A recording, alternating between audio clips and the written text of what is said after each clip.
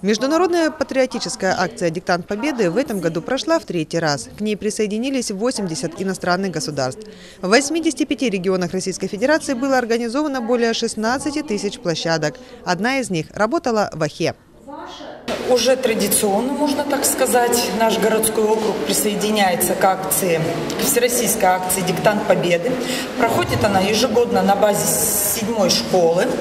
Принять участие может любой желающий, не обязательно обучающийся образовательных учреждений. Процедура эта абсолютно бесплатная. Диктант Победы проходил в виде тестирования. Всего в задании 25 вопросов по тематике Великой Отечественной войны. 20 заданий федерального уровня и 5 регионального. На ответы дается 45 минут. Пользоваться гаджетами, книгами или другими источниками информации на диктанте не разрешается. Перед началом работы проведен инструктаж. День проведения диктанта Победы на площадке сдачи запрещается.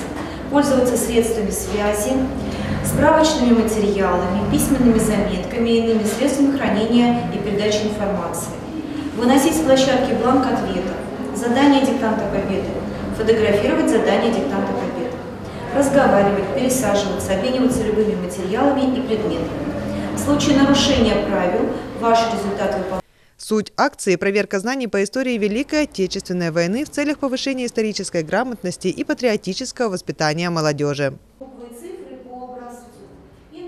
При результативном прохождении данного диктанта выпускник или абитуриент может получить дополнительные баллы при поступлении в высшее учебное заведение. Написать диктант можно было и онлайн на официальном сайте диктантпобеды.рф. Для участия также необходимо было пройти регистрацию и подать заявку.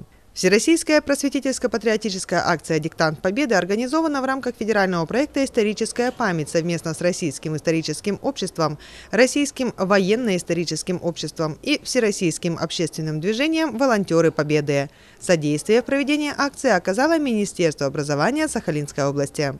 Итоги диктанта победы подведут к 24 июня. Победителями станут те, кто ответит на вопросы не только правильно, но и быстрее других. Они получат билеты на Парад Победы 2022.